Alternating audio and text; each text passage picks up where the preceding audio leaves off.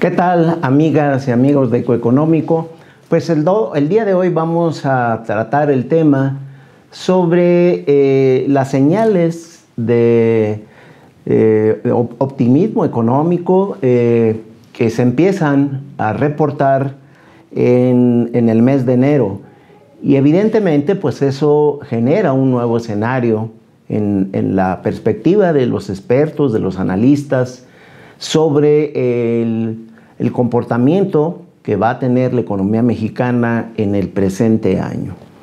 Eh, la discusión sobre las, perspectivas económicas, eh, sobre crecimiento y el comportamiento de la inflación para este año de hecho, igual que el año 2022, van en una métrica que se mueven entre pronósticos pesimistas y optimistas. Igual, insisto, que lo que sucedió a principios del año pasado. Mientras que para el Fondo Monetario Internacional y las encuestas del Banco de, México y Citibanamex eh, la economía mexicana experimentará una pronunciada desaceleración en, el presente año y una inflación eh, que apunta sobre una tasa de 5% para la Secretaría de Hacienda en los propios criterios de política económica y los nuevos pronunciamientos que ha hecho el secretario de Hacienda el crecimiento del Producto Interno Bruto será similar al del año 2022, es decir, sobre una tasa de 3% y una tasa de, eh, inflación que, eh, según la estimación de la Secretaría de Hacienda, arriba del 3%. Repito, eh, ambos, ambas referencias económicas siguen siendo tema de discusión. La visión pesimista eh, tiene como principal, principal fundamento es la eh, recaída o contracción económica de los Estados Unidos. Es el elemento principal.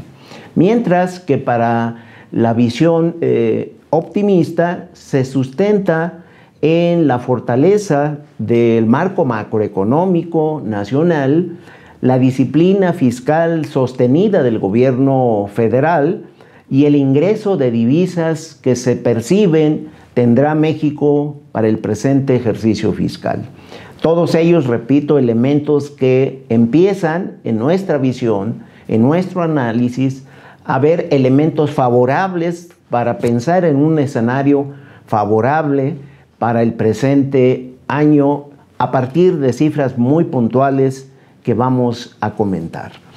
Eh, vamos a ver, para el caso de la Secretaría de Hacienda, en sus criterios generales de política económica, prevé un crecimiento del Producto Interno Bruto de 3%, con una inflación por arriba del 3%, es decir, digamos cercana a la meta del Banco de México. Es la previsión que hace la Secretaría de Hacienda para estos dos indicadores específicos. Para el Fondo Monetario Internacional, en su estimación de enero, prevé o estima un crecimiento del Producto Interno Bruto de 1.7%. Aquí ya tenemos una discrepancia muy puntual entre un crecimiento acelerado a la línea del 3% con un crecimiento de casi la mitad en la, tasa para el presente año de acuerdo al Fondo, al fondo Monetario. los especialistas en economía del sector privado que eh, eh, monitorea el Banco de México en su encuesta de enero, prevé un crecimiento de apenas 1% y una tasa de inflación que se encuentra en 5.2%. Y para Citibanamex, que en su estimación de febrero, que recoge básicamente las, las proyecciones de los bancos, prevé eh, que el Producto Interno Bruto Real tendrá un crecimiento del 1% para el presente año y una tasa de inflación también de 5.2%. Esos son los elementos de previsión, de pronóstico en cuanto a crecimiento económico y eh, la tasa de inflación en el presente año. ¿Qué, eh, ¿Qué elementos tenemos para empezar a visualizar que hay indicios de eh, desempeños específicos en, indicadores clave para ir visualizando que en efecto puede haber una mejoría, una previsión optimista en el crecimiento económico y en otros indicadores vinculados. en el indicador global oportuno de la actividad económica, que es el primer resultado que tenemos en el mes de enero, eh, tanto a nivel mensual como en términos anualizados para, para este mes, el crecimiento es positivo. La tasa mensual del, del IGAE en su dato oportuno es de 0.4% y en términos anuales la tasa es de 2.8%. Eh, aquí hay dos ligas importantes. En diciembre terminó positivo en términos mensuales de 0.1%, la tasa del IGAE, y eh, a nivel anual, tanto en diciembre como en enero, digamos, se aproxima el crecimiento económico del país sobre una pauta del 3%. Elementos, digamos, favorables para ir señalando que no ha habido un efecto negativo como se había previsto en algunos indicadores. Si hablamos del consumo eh, privado, el comportamiento del consumo privado en el mercado interior, también en un dato oportuno para el mes de enero, eh, a nivel mensual tuvo un crecimiento de 0.1% y liga dos incrementos positivos, diciembre del año pasado y enero del presente año, como eh, lo podemos observar con crecimientos de 0.5 y 0.1% respectivamente.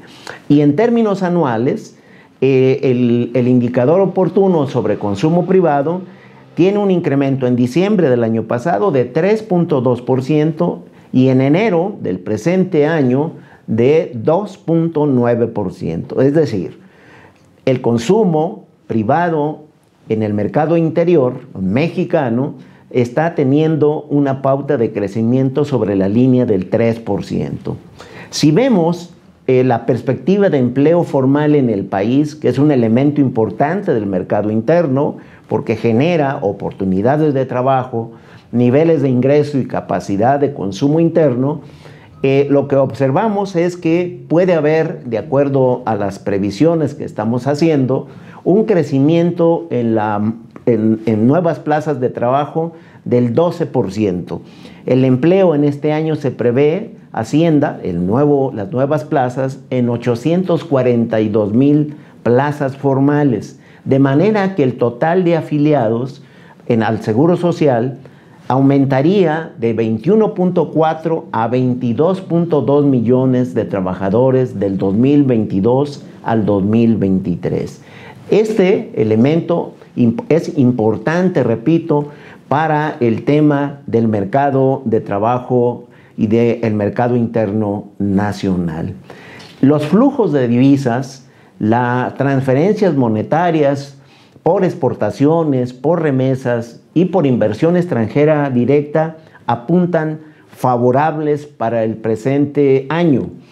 Eh, se prevé, eh, hemos hecho una revisión muy puntual sobre el comportamiento de exportaciones, por ejemplo, que van a tener un aumento en el 2023 de 682 a 682 mil millones de dólares, un aumento del 18%.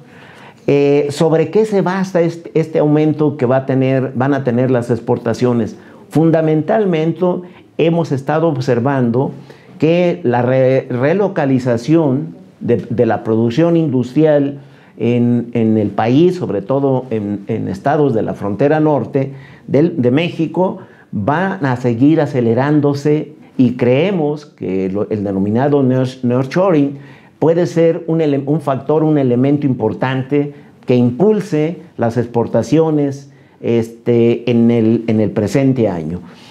Y el otro elemento es que las remesas pues, van a seguir en un nuevo comportamiento histórico, van a ascender, de acuerdo a nuestra estimación, a poco más de 64 mil millones de dólares, un aumento del 10% con respecto al 2022.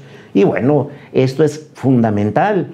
Este eh, flujo de recursos son eh, ingresos netos de las familias de los migrantes que no solo le ayudan a eh, resolver los temas de necesidades del hogar, sino también para generar patrimonio en, enseres de carácter intermedio que forman capital físico y capital humano importantes para las familias de los migrantes. Y eso sin duda fortalece en mucho lo que son los mercados locales en los distintos municipios del país.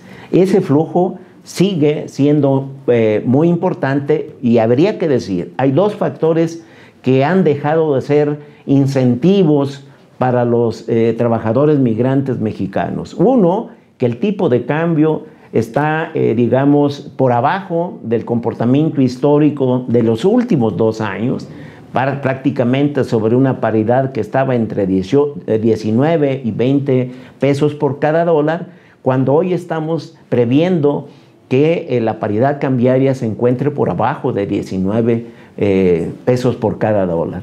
Eso evidentemente ya no es un incentivo como lo, en su momento lo fue, y por el otro lado, pues los, los, migrantes, los trabajadores mexicanos en Estados Unidos ya no tienen los apoyos fiscales del gobierno federal de aquel país. Y bueno, pese a ello, el esfuerzo importante de, los migrantes mexicanos en términos de envío de recursos es muy importante, muy significativo. Y el otro es el tema de la inversión extranjera directa, que está vinculado esto, esta estrategia, este mecanismo de nearshoring, que prevemos haya un crecimiento de 13.5% en la inversión extranjera, que va a superar, de acuerdo a la previsión, a poco más de 40 mil millones de dólares, sustentado, repito, en este elemento, estrategia de relocalización de la producción industrial en estados del norte del país. ¿Qué podemos concluir? Los datos duros, los que empezamos a obtener en el mes de enero, apuntan a que el, crecimiento del Producto Interno Bruto eh, se ubicarán en una tasa entre el 2.5 y 3% en el presente año, una inflación que sí lo estamos viendo en esta tendencia a una tasa del 5%. Si lo quieren ver de manera muy puntual, es muy probable, que nos ubiquemos en el techo máximo de la tasa en 3%, eh, en crecimiento del Producto Interno Bruto y 5% en la tasa de inflación. De esta manera, la inflación estaría bajando de cerca de 8% que se reportó el año pasado a 3 a 5% en el presente, en el presente año. Eh, el mercado de trabajo formal apunta hacia un crecimiento, como lo comentamos, del 12%. Eh, el número de afiliados, en efecto, puede ascender a 22.2 millones de trabajadores, que es un soporte clave para la fortaleza del mercado interno mexicano.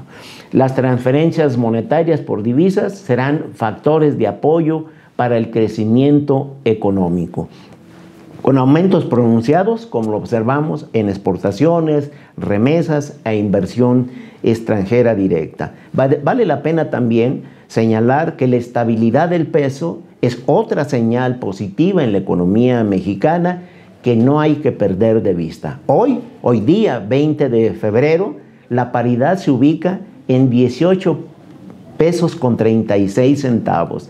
Un, eh, digamos, un reporte o un registro eh, y muy eh, histórico, podríamos decir, en cuanto a esta paridad que se ha sostenido y que buena parte de eso tiene que ver con el contexto macroeconómico del país, la disciplina eh, fiscal del gobierno, el diferencial de tasas de interés de referencia entre Estados Unidos y México y evidentemente a la entrada de dólares al país. No perdamos de vista y seguramente estaremos comentando esta visión que puede ser en efecto una visión optimista sobre el escenario económico del 2023. Terminamos con nuestras recomendaciones. Síganos en Ecoeconómico, el cuadrante para el pulso de las decisiones oportunas y enteradas. Recuerde, cuídese, cuídese mucho. Si puede de manera voluntaria y altruista, done sangre.